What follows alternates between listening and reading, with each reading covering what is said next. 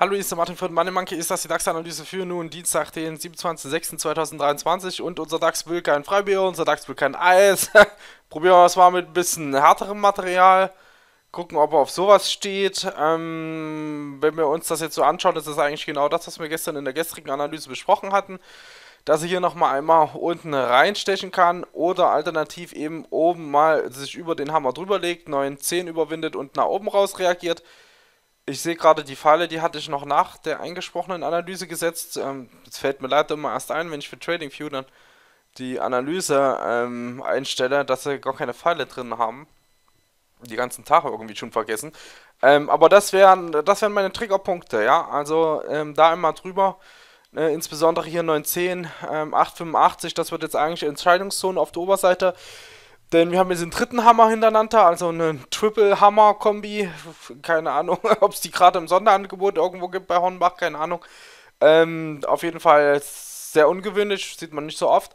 Drei Hammer nur aber hintereinander, muss halt aber auch nach oben umlegen. Das nützt nichts, ne? Deswegen sagen wir immer Long-Signal eben auch erst, wenn er dann über die Spitze oben drüber macht und das ist noch nicht. Dafür muss die, 5, 8, äh, die 15.885, 15.910 nach oben überwunden werden. Schafft er das, dann wäre ein Gap Close denkbar im Bereich um 15.99 und später dann im Wochenverlauf auch mehr.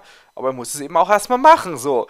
Ähm, unten haben wir jetzt diese schönen drei Tiefs. Das war das, was ich gestern gesprochen habe, was wir äh, besprochen haben. Das, was man sehr, sehr, sehr oft im DAX sieht. Also es ist ein sehr bekanntes Bild, oft eben mit einer Auflösung auch nach oben, weil dadurch eine Art Verkeilung entsteht. Also kommen meistens dann auch die mit ihren Wolfe Waves alle aus dem Keller raus und ähm, finden dann plötzlich, dass das jetzt eine Trendumkehr, äh, Trendumkehr werden kann. Ist aber auch so, egal ob mit Wolfe Wave oder ohne oder mit Verkeilung oder ohne. Potenzial hat er, muss es nur nutzen. Nutzt das nicht, kippt er uns wieder ab. Kippt er auch unter 87, 77 ab zum Dienstag. Ist ein weiteres Tief wahrscheinlich. Und ganz ehrlich, dann glaube ich langsam nicht mehr, dass er das packt.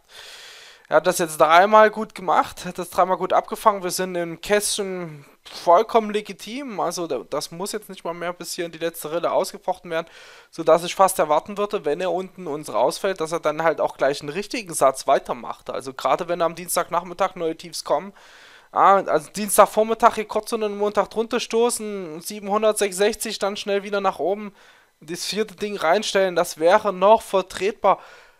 Aber pff, die drei sind jetzt da, die drei tief sind da. Das ist genau das, was wir gestern besprochen haben. Genau das hat er gemacht. Kerzenkörper hochziehen, genau das. Und gestern besprochen, das muss er jetzt eigentlich nutzen, muss jetzt nach oben umklappen. Ich glaube, wenn er das nicht macht, wenn er sich jetzt wieder hier unten auf Tiefs macht, ich glaube, dann kicken sie ihn um und dann treten sie, dann treten sie ihm richtig auf den Schlips bis gut, gut und gerne 55 gleich, die dann über den Dienstagnachmittag, Abend schon erreicht werden kann, bis in den Mittwoch hinein. Ja, also da ein bisschen aufpassen. Ähm, dass man halt mit Long auch wirklich erst das Signal abpasst und das ist dann tatsächlich auch hier erst hier oben.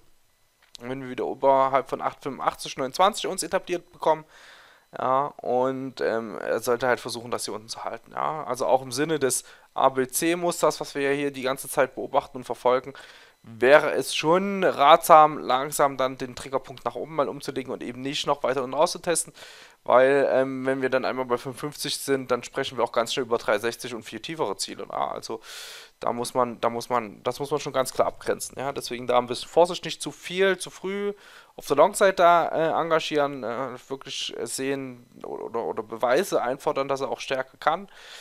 Ähm, momentan kann er, kann er gut sich wehren gegen die Verkäufer, aber das reicht nicht. Er muss halt auch Dominanz nach oben zeigen. Ja? Und wenn das ausbleibt, dann kommen die Verkäufe irgendwann hier unten durch und dann, dann kann es übel werden. Ja, also 660 bis, 7, bis 700, das, das wäre nochmal als Vormittagstief okay, aber am Nachmittag will ich den dann nicht unten rumrennen sehen. Na, es würde mir sonst zu sehr nach 550, 460 und echt dann Richtung 360 und tiefer riechen. Ja, von daher würde ich es dabei auch sogar schon belassen. Das denke ich relativ eindeutig. Da gibt es nicht viel Interpretationsspielraum. Jetzt könnte man noch mit dem Warfare Wave irgendwelche anderen Ziele, aber das, das kommt immer alles auf das Gleiche raus. Ja, das ist ja, das ist immer das Interessante. Egal welche Technik ich habe, egal welche Analyse ich zugrunde lege und wenn ich das Volumen nehme oder irgendwas anderes, ich komme immer wieder auf die gleichen Kurs, auf die gleichen Ziele. Und deswegen funktioniert es eigentlich auch immer so schön, sich mit dem Chart auseinanderzusetzen, weil man doch über verschiedene Methodiken ähm, immer wieder Ähnliches zutage trägt, weil natürlich sich der Markt eben danach bewegt. Ja, wo die meisten gucken, wo sie die Stop-Loss setzen, wo sie einsteigen. Da ist Bewegung, da sind Dreh- und Angelpunkte und ähm, die muss man einfach nur für sich nutzen und eben auch abwarten, geduldig bleiben. Nicht irgendwo drin rumrackeln, wenn man ganz spontan denkt, ah, oh, jetzt macht er aber das und dann macht er eben genau das Gegenteil. Ja, sondern schön mit Plan und koordiniert beobachten und dingsen. So, okay. Ähm, haben wir schon über Seminartermin gesprochen? Ähm, machen wir morgen, ja? Ja, kommt, wir machen hier zu, lass uns bei einer kurzen Analyse, hauen wir morgen mal einen neuen, neuen Termin raus. Und ich wünsche euch was. Macht's hübsch. Tschüss.